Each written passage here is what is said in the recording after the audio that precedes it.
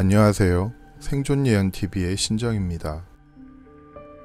이번 영상에서는 감론을박이 많은 선거 문제와 이후의 상황에 대해 말씀드리고자 합니다. 제가 소용없을 선거는 벌어지지 않을 거라고 예언했는데 선거가 진행이 되었다고 말씀하시는 분도 적지 않습니다. 단도직입적으로 말씀드리자면 대한민국 국민이 보편적으로 정의하는 선거는 일어나지 않았고 앞으로도 영원히 없을 것입니다. 그리고 우리 중 일부가 벌어졌다고 주장하는 선거는 존재 자체가 부정될 것이며 결과적으로 모든 것이 지워져 존재하지 않게 될 것입니다. 제가 올해 대한민국이 여러 재난으로 인해 폭망할 일만 남아있고 더 부서질 수 없을 만큼 처참하게 부서진 후 새로운 국가가 탄생할 것이라 말씀드렸었습니다. 모두 다 정해진 미래이며 바꿀 수 없는 벌어질 미래입니다. 벌어졌지만 벌어지지 않은 선거는 국가 붕괴와 멸망의 수많은 뇌관 중 하나가 될 것이며 결국 수많은 요인들로 인해 대한민국은 역사에서 영원히 사라지게 될 것입니다. 뽑았지만 뽑히지 않은 이들 또한 국민을 기망하고 정도를 거스른 대가를 예외 없이 비참하게 치르게 될 것입니다.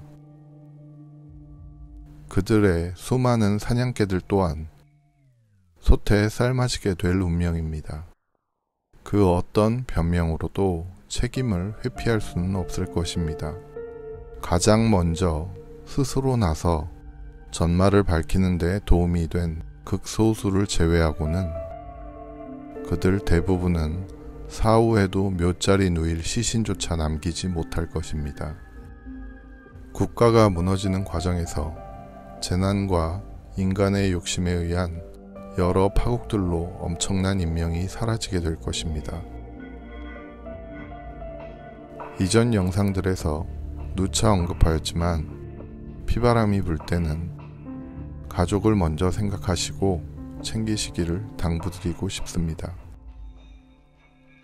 적어도 생존 예언 TV의 가족분들만은 새로운 세상에선 철저하게 부정될 망할 국가의 이분법적인 구시대적 이념에 매몰되어 소중한 가족을 놓치게 되는 일이 없기를 바랍니다. 그리고 이번 선거와도 관련이 있지만 결국 전 영상에 언급한 대로 친일, 친중, 종북주의자들은 예외 없이 강제 재윤회의 길로 들어서게 될 것입니다. 이들의 모든 기록은 새로운 국가의 역사에 기록되어 새로운 제국의 천년의 세월 동안 지속적으로 회자될 것이며 그 자손들까지도 대대손손 낙인과 불이익 속에 살아야 할 것입니다. 국가를 멸망에 이르르게 한 이들의 인권은 그 모든 과정에서 존재하지 않을 것이며 그 후손들 또한 주장할 수 없게 될 것입니다. 새로운 한반도 통일제국은 친일, 친중, 종북주의자들이 정권이 바뀔 때마다 입맛에 맞게 왜곡하고 비틀어 후대의 역사적 교훈을 얻을 수 없게 된 역사 기록을 바로잡을 것입니다. 이미 이전에 여러 차례 언급하였듯이 통일 한반도의 새로운 국가는 AI 국가 통제 시스템을 기반으로 한 제국이 될 것입니다. 가장 참혹한 상황에 기존에 알려지지 않았던 새로운 지도자가 등장하게 되고 사람들을 결속시키며 혼란을 극복하게 될 것입니다. 새로운 통일 한반도에 새 국가를 건설하게 될 지도자는 기존의 정치 지도자와는 완벽하게 다를 것입니다. 혼란을 틈타 가짜 지도자들이 각자 새로운 지도자를 표방하며 셀 수도 없이 많이 나오겠지만 그들의 말로는 예외 없이 참혹할 것입니다. 기존 국가의 군경 조직은 새로운 지도자를 주축으로 결속되어 혼란스러운 사회 질서를 바로잡고 구시대의 종양을 제거하며 새로운 제국을 건설할 수 있도록 이바지합니다. 새로운 제국 건설에 이바지한 최초의 구성원들은 적지 않은 이가 새로운 제국의 역사에 이름을 남기고 대대손손 영광을 함께할 것입니다.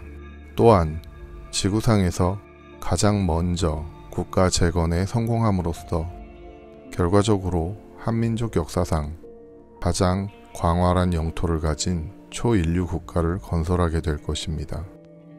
광활한 영토와 서로 다른 이들을 모두 아우를 수 있도록 모든 법과 체계, 여론 수렴, 검토, 결정은 주관적이고 이기적인 인간이 아닌 AI가 실행하게 될 것입니다. 구시대의 유물인 선거는 사라지게 되지만 AI 국가 운영 시스템의 실시간 여론 수렴 기능으로 더 폭넓고 직접적인 참정권을 보장받게 될 것입니다. 또한 여론 수렴 과정에서 다수결 절대주의에서 집단 이기주의를 판별하고 걸러냄으로써 다수에 의한 부당한 사회적 횡포가 사라집니다. 모든 과정은 개인 소유의 전자기기와 기타 수단을 활용하여 실시간으로 수렴되고 결정되어 실행될 것입니다. 물론 이미 말씀드린 대로 상상을 초월한 희생을 극복한 다음에 모든 재난들의 생존자들만이 누릴 수 있는 이상적인 미래 국가입니다. 새로운 통일 제국이 구성원 모두의 행복을 예외 없이 보장할 수는 없지만 절대 다수는 노력한 만큼 보상받고 억울한 일이 과거와는 비교할 수 없을 만큼 줄어들게 될 것입니다. 타인에게 피해를 입힌 이들은 반드시 처벌을 받게 되며 갱생이 불가능한 자들은 예외 없이 강제의 재윤회 조치 될 것입니다. 구시대에 국가에 만연하던 집단 이기주의는 더 이상 발붙일 곳이 없게 될 것이며 서로 사랑하는 마음으로 선을 행하며 다름을 인정하고 조화를 이루는 사회가 될 것입니다. 모든 재난에서 생존하여 새로운 세상을 창조할 새로운 인류는 지옥에서 태어났지만 후대에는 지옥이 아닌 세상을 물려주게 될 것입니다. 생존 예언 TV에서는 향후 발생할 재난에서 생존자를 늘리고 다가올 미래에 발생할 일들과 생존 방법을 알려드리고자 기획되었습니다. 믿기 어려운 내용이지만 기억하실 수 있다면 임박한 재난에서 유용하게 활용하여 생존에 도움이 되시기를 진심으로 바랍니다. 미래는 이미 정해져 있습니다. 본 영상을 시청할 사람과 시청하지 못할 사람의 미래도 정해져 있으며 본 영상을 지나쳐버릴 사람과 주의 깊게 보고 기억하여 향후 재난에서 위기를 헤쳐나가는데 유용하게 활용할 생존자의 미래도 이미 정해져 있습니다. 개개인 각자는 감당 못할 재난이 닥쳐오는 상황을 예상할 때 자기 한 몸은 쉽게 포기할 수 있을지 모르지만 닥쳐올 상황 앞에서 자식들에게도 같은 생각을 갖기는 힘들 것입니다. 아무쪼록 보다 많은 시청자분들과 구독자분들이 본 예언을 유용하게 활용하여 가족과 생존하는데 도움이 될 운명이기를 기원합니다. 생존 예언 TV의 모든 내용은 이념, 종교, 주관과는 관계가 없으며 노력이나 기도 혹은 특정 종교의 주문으로 바꿀 수 있는 미래가 아니라 다가올 정해진 미래입니다. 실제로 다가올 이미 존재하는 미래는 우리가 현실을 기준으로 상상할 수 있는 것보다 훨씬 더 많이 바뀌게 됩니다. 후속 영상을 통해 모든 재난 이후의 세상의 모습, 그리고 미래가 정해져 있는 상황에 대해 하나씩 알려드리도록 하겠습니다. 전 영상에서 이미 다뤄진 내용은 본 영상에서 구체적으로 다루지 않았습니다. 궁금하신 분들은 이전 영상 시청하시면 도움이 되실 것입니다. 생존 예언 TV가 대재난을 앞둔 상황에서 본 영상의 구독과 알람을 권장하는 이유는 향후 업데이트될 예언들을 늦기 전에 빠짐없이 보시고 임박한 재난에서 가족의 생존에 활용하실 수 있기를 희망하기 때문입니다. 다음 영상이 궁금하시다면 좋아요, 구독, 알람 부탁드립니다.